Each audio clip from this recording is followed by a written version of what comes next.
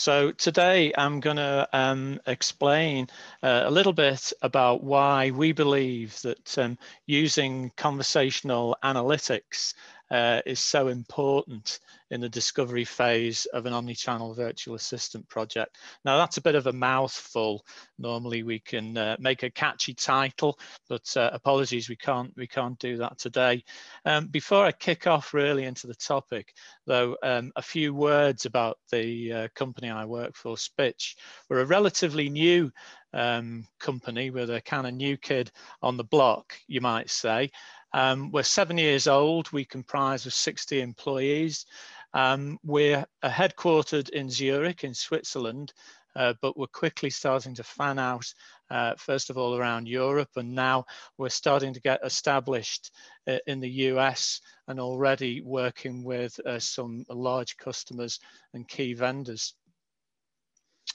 Um, so just a little bit about um, some of the um, uh, industry thought uh, leading um, organizations um, we're already punching, you might say, way above our weight in terms of recognition.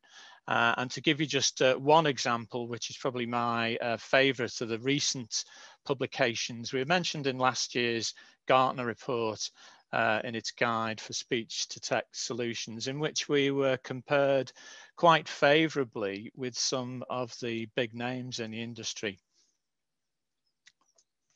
So first of all, a little bit about the technologies uh, that we uh, develop. These are all our own technologies.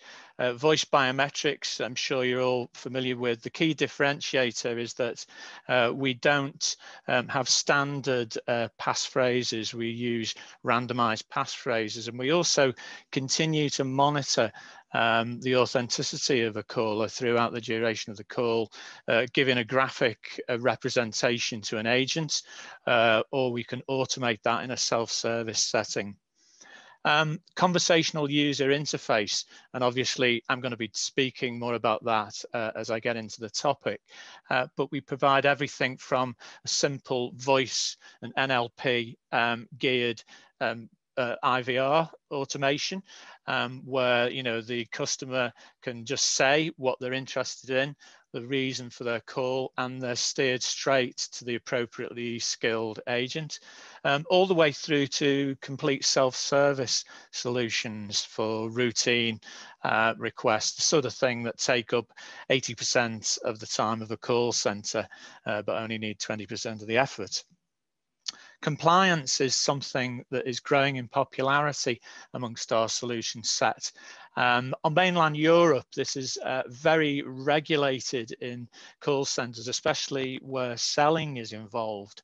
And audit is a very expensive and time consuming and stressful uh, operation for staff. Um, but our solution automates most of that process.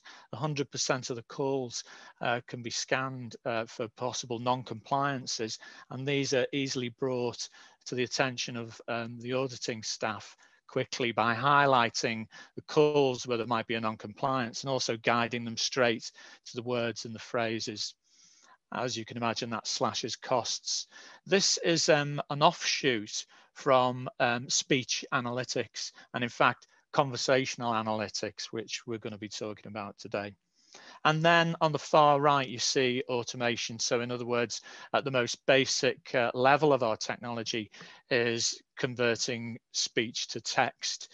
And then within that, um, alignment between the audio and the text and also uh, normalization. So now here's the uh, kind of controversial bit, uh, because I would I would ask you to think now when you last used a virtual assistant, um, and and what was your experience? Because you know, did it clearly understand what you were saying? If it was a voice uh, you know, uh, solution, even if it was text? Did it understand you clearly how you want to phrase things? You know, the sort of product jargon, the phrasing that you use. Um, if you broke off uh, in that interaction, could you rejoin down the line somewhere, either on the same channel or on a different channel? And would it pick up where you left off? Or would you have to go right back to the beginning of the conversation? Um, did that virtual assistant uh, know when it was out of its depth?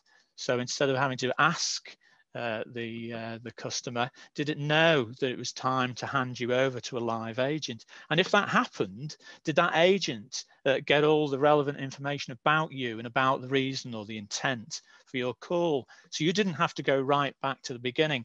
And i guess we've all had a similar experience. In other words we've at some point hit the uh, virtual assistant brick wall so if the answer was no to any or, or most of that, then you were probably in a multi-channel environment rather than the omni-channel. So just to stress um, our view of the omni-channel uh, conversational platform, this is this is our what we might call go-to diagram. Um, on the outside of that semi uh, circle, you've got the different touch points that the customers may use. And then further in, uh, you've got the different use cases that the channels are serving. And then in the center, you've got the uh, central integration, obviously CRM, but there are other back-end processes as well. And at the bottom of the diagram, you see some of the um, uh, uh, uh product areas and use cases that we're serving with the omni-channel. So what am I saying? Well, to get to design, um, shall we say, the best possible um, uh, omni-channel solution. Really what we need to do is get our hands on all the uh, recorded calls, if they're available, um, save text chats, um, social media streams, at the right at the beginning of the discovery phase, as close to the beginning of the project as possible. And then analyze them in the anal analytics platform. Obviously, we we have a, a, conversational analytics platform. We're not the only one, you know, but this is a, an essential part for the reason that um, we need to understand more about the interactions. You know, the CRM only really stores the results of all these interactions, uh, and it's not really enough when we want to design an automated conversation solution.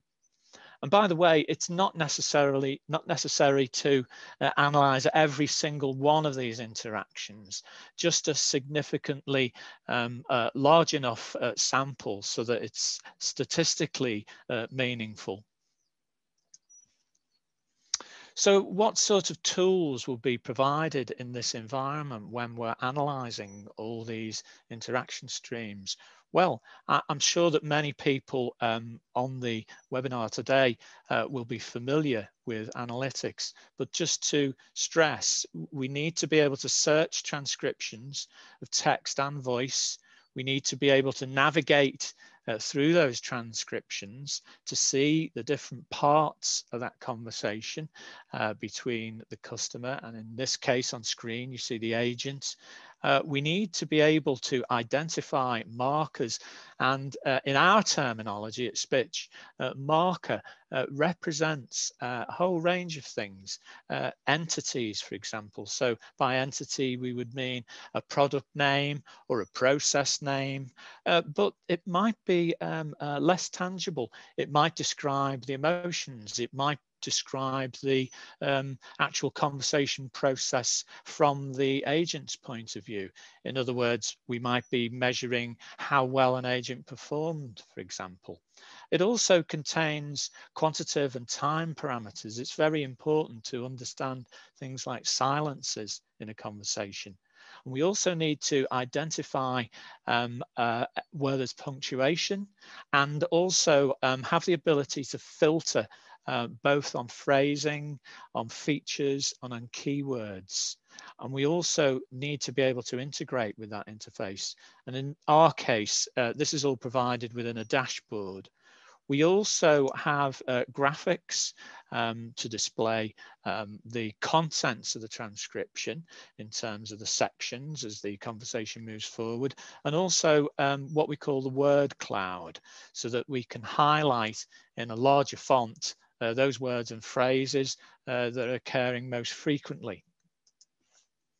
And then within the cloud tools to support that graphical environment, uh, we need to be able to visualize both words and phrases and our markers. And in the example on screen, you'll see that in this one, um, it's broken down the conversation um, so that you can actually analyze quite deeply um, uh, new insights, shall we say, into that conversation in terms of what's happening, um, the sort of um, things in this case, like contacts, like call scheduling, references to other companies, etc.